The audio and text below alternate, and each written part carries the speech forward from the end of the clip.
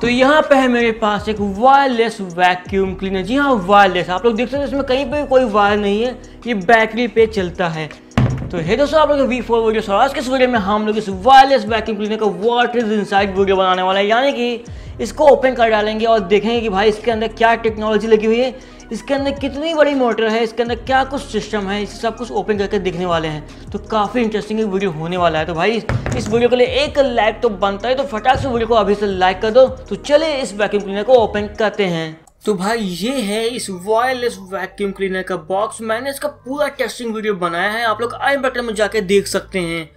और इसका जो वाटर इंसाइड बनाएँगे, हम लोग इसके मोटर पार्ट का बनाएँगे, क्योंकि इसी में ही सब कुछ टेक्नोलॉजी है। बाकी तो सिर्फ़ एक्सटेंशन है पाइप वगैरह हैं। तो ये देखो, इसका मोटर वाला पार्ट। बताओ, इसके अंदर मोटर भी लगती है बैटरी भी लगती है कंप्लीट एक वैक्यूम क्लीनर है ये। तो यहाँ पे इसकी बैटरी है। ये देखो, कुछ इतनी बड़ी बैटरी है इसकी।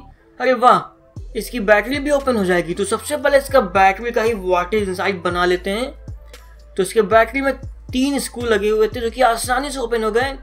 और भाई, ये रही इस वैक्यूम क्लीनर की बैटरी बताओ इतने छोटे सेल एक, दो, तीन, चार, पाँच छः छः सेल की मदद से ये वैक्यूम क्लीनर पावर होता है। ऊपर पीसी भी लगी हुई है। ये क्या और भी खुल सकता है या नहीं?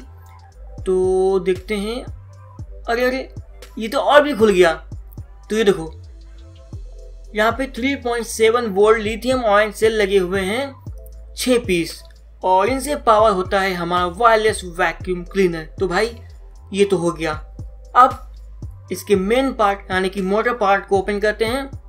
इसमें काफ़ी सारे स्क्रू हैं, और यहाँ से पावर सप्लाई जाती है इसके हेड को नचाने के लिए, इसका हेड भी गोल गोल नाचता है, यानी कि यहाँ पे भी मोटर है और हम लोग इसे भी ओपन करेंगे, ठीक है?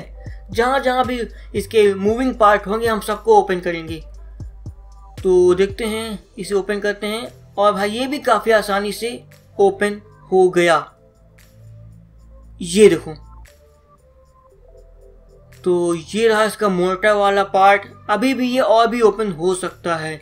तो यहाँ पे जो आपको वायर दिख रहे हैं ये उस रोलर को ही नचाते हैं जो कि इसके नीचे वाले फ्लोर हेड में लगा हुआ था।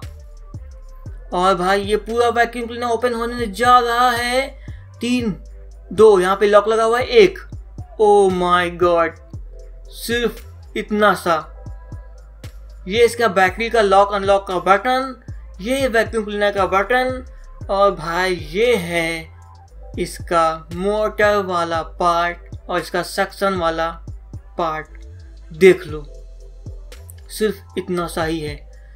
इतनी छोटी सी मोटर है डीसी वाले, लेकिन भाई बहुत ही पावरफुल मोटर है। 100 वॉट की डीसी मोटर है, आप लोग देख लो। 22 वोल्ट 100 वॉट की पावरफुल डीसी मोटर है ये। यानी कि बहुत ज़्यादा आरपीएम होंगे इसके। तो इसे ओपन हालत में ही चला के देखते हैं।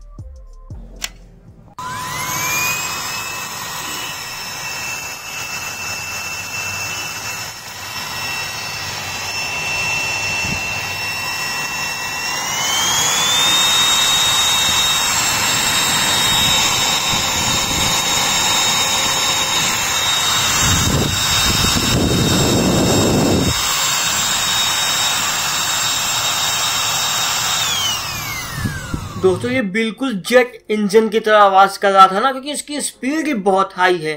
अब इसके फ्लोर हेड को ओपन करके देखते हैं। ये जो कनेक्शन आए हैं इसके रोलर को नचाने के लिए। तो यहाँ पे बहुत सारे स्क्रू हैं। सबसे पहले इस रोलर को निकाल लेते हैं और देखते हैं इसके अंदर क्या है।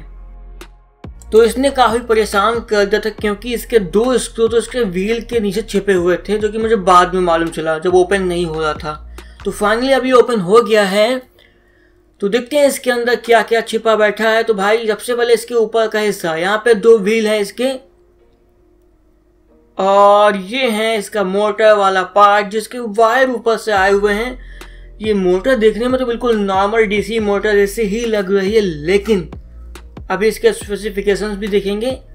तो भाई, मोटर से रोलर को पावर मिलती है एक बेल्ट के थ्रू बेल्ट लगे हुए हैं, साथ ही एक गियर भी लगा हुआ है।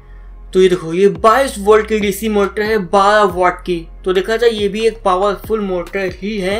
अभी फटाक से इसे वापस से पैक कर देते हैं। तो भाई, ये था हमारा वैक्यूम क्लीनर का what is inside video video पसंद आने पर लाइक करो और भी बहुत सारे अमेजिंग वीडियोस के चैनल को सब्सक्राइब करके बेल आइकन भी ज़रूर से दबा देना।